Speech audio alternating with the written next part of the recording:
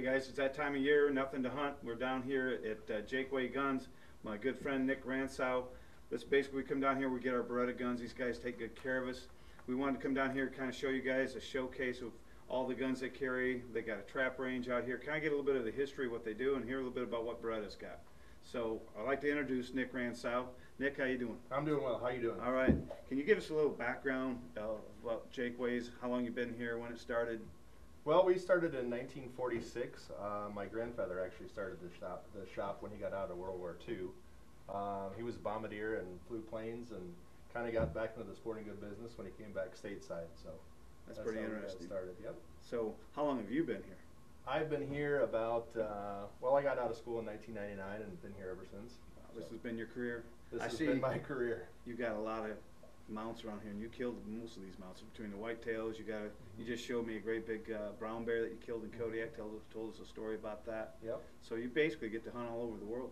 Uh, hunted pretty much here in the lower 48, but eventually I'd like to spread out and do a little bit more. Any African hunts? Not yet. Not yet. Got a plan, but haven't done it. So. I gotcha. Um, I see you carry a lot of Beretta guns. We do. Uh, pretty much stock the full line of Beretta products. Uh, carry a little bit of clothing, uh, choke tubes, merchandise, basically the full pro shop. Um, mostly firearms, though that's kind of our specialty. Well, you carry a lot of the high-end guns. We see that between the Beretta and the Brownings, and what are the other? Uh, we do Krieghoff sporting clay guns, uh, trap guns as well. Uh, we carry Blaser, Kolar, Perazzi, uh, Caesar Guerini, SKB, uh, pretty much all the major brands. But I also notice you carry a lot of hunting guns. That's why I looked between We the do. Browning and the Beretta. You've got the waterfowl models. I mean, this year we went with the A400s. We had great success with them. Mhm. One of the things that I noticed with the A400 that I liked a lot, I liked that it had the less recoil to it. You know, great with the follow-up shots. But you kind of offer a lot to the sportsmen. I see that you're also carrying the rifles. You guys are into a lot of the pistols between Kimbers and Berettas. So kind of you got the whole thing for the guy who- who's uh, We do. We try and hit every base. Uh, we try and have everything, you know, a little bit of everything for everybody. Um, you know, we just try and be as accommodating as we can. Now, the trap range out there, do you guys have trap shoots that's going on? here? Is that basically a local thing? Do you have tournaments here? Um, we primarily have people coming in from uh, the states that border Ohio. We do occasionally get some people from California, Florida. Uh, we've been doing it a long time. This has actually been a club since about 1910.